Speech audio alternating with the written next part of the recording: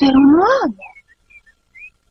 Guarda, un uomo di latta! Voleva un cuore l'uomo di latta. L'alluminio invece, che di latta e lamiera nel tempo è divenuto erede, un cuore ce l'ha sempre avuto, morbido, duttile, leggero e tra i materiali quello che più di ogni altro si lega con gli altri elementi. Alluminio dal cuore grande, pronto a prestarsi ad ogni segmento dell'economia mondiale, secondo solo al ferro per la quantità smisurata di possibilità di utilizzo dalla casa all'industria, dalla terra, delle linee elettriche e degli elettrodomestici al mare. Alluminio l'amico del mare, elemento privilegiato dalla cantieristica, struttura per navi agili e leggere, lucido e riflettente come le superfici delle acque da solcare e come il mare amico a chi lo conosce, l'alluminio abbondante in natura, ma restio ad essere catturato libero, più semplice di ottenerlo da se stesso con il riciclo. È sempre pronto ad emergere dalla terra, gigante buono che risveglia l'uomo alle sue responsabilità ecologiche.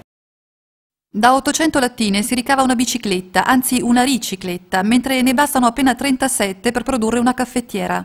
Esempi ben noti al nostro paese, dove il 48% dell'alluminio circolante deriva proprio dal riciclo. Un dato significativo che evidenzia i risultati del lavoro svolto dal CIAL, il Consorzio Imballaggi Alluminio, da anni impegnato nel riciclo e recupero di questo materiale. Su questo fronte l'Italia occupa infatti una posizione di rilievo nel panorama mondiale, è al terzo posto insieme alla Germania dopo Stati Uniti e Giappone. Un successo che passa attraverso l'accordo quadro ANCI-CONAI e alle numerose iniziative promosse dal CIAL per sensibilizzare l'opinione pubblica.